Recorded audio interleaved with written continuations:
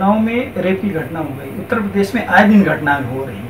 आखिर क्या कारण है? इस पर और जिम्मेदार अधिकारी कोई संज्ञान में नहीं लेते हैं कार्रवाई जल्दी नहीं होती है। देखिए, ये जो बलात्कार की घटना हो रही है बलात्कार या फिर बलात्कार पर हत्या, ये किन्हीं चंद लोगों की विकृत मानसिकता का प्रतीक है। मुझको लगता है कि माननीय नरेंद्र मोदी प्रधानमंत्री के रूप में, माननीय योगी आदित्यनाथ मुख्यमंत्री के रूप में, लगातार बेटियों के मान सम्मान के लिए उनकी सुरक्षा के लिए, उनके स्वाभिमान के लिए लगातार चिंतित भी हैं और केवल चिंतित नहीं है लगातार कार्य भी कर रहे हैं। कुछ लोग जिनको संस्कार नहीं मिला, जो बेटियों को हैवानत की नज़र से देखते हैं, महिलाओं को, उनमें केवल सेक्स ढूँढने का काम करते हैं तो कुछ लोगों की मानसिकता हुई। माननीय मुख्यमंत्री ने इसके ऊपर गंभीर, इसके ऊपर कार्रवाई करें और मेरा केवल आपके चैनल के माध्यम से ये निवेदन है कि माता पिता और शिक्षक, बच्चों छोटा ना समझें। बच्चे छोटे नहीं हैं उनकी जो सोच है, वो बड़ी है और वो छोटी आयु सेक्सी जानकारी नहीं। उनको चरित्र निर्माण की जानकारी चाहिए।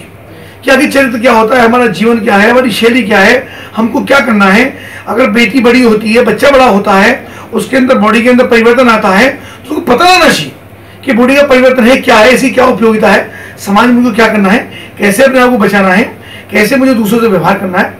ये चरित्र निर्माण की बात है। महापुरुषों की जीवनी मंत्री जी आगे भविष्य में इस तरीके की घटनाएँ यूपी में न हो, उसको रोकने के लिए आपकी सरकार क्या कर रही है? सरकार, बेटी बचाओ, बेटी पढ़ाओ, केवल नारा नहीं है, उसके लिए हम काम कर रहे हैं। माननीय मुख्यमंत्री लगातार काम कर रहे हैं। अनुवंशिकता जो गैप है, बेटा और बेटी के अंदर, उनके अंदर गैप को हमने कम करने का काम किया है। और मेरा जो सबसे बड़ा संकल्प है, और जो मैं करता हूँ, और मैं चाहता हूँ कि ये स्कूलों के माध्यम से, माता पिता के माध्यम से संस्कार युक्त शिक्षा चाहिए। उसको लगातार मुख्यमंत्री बढ़ाने का काम कर रहे हैं।